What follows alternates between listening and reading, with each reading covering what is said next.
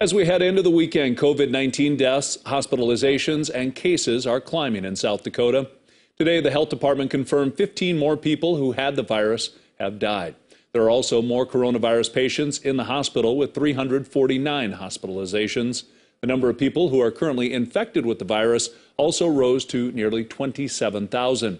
The state's vaccination rate continues to be slow. So far, nearly 69% of people 5 and older have received at least one dose of the vaccine.